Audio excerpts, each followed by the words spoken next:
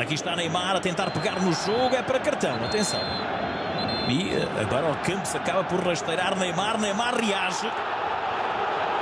Neymar reage. Verratti tenta levantar o argentino ao Campos do relevado. Vamos ver o que faz o ar. Clássico sempre efervescente. Este Marselha PSG.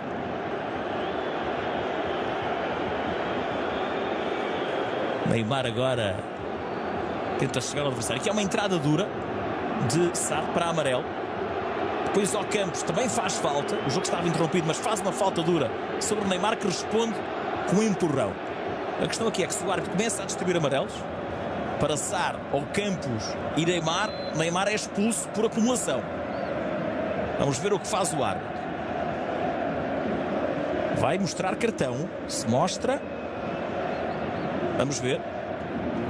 Tenta afastar Rolando. Também Tiago Silva. Cá está. E amarelo também para Neymar. É o segundo amarelo para Neymar que é expulso por acumulação.